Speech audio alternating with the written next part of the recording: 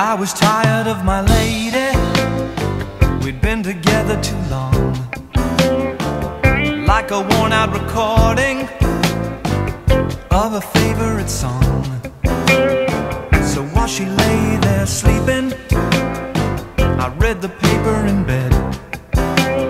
And in the personal columns, there was this letter I read. If you like pina coladas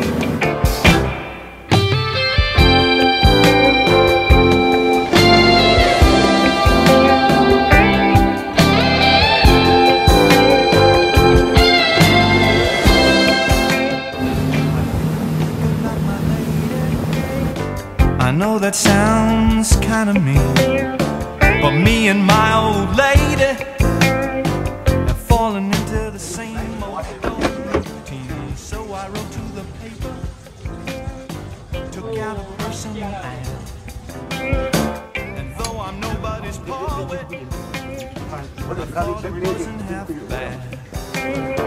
Yes, I like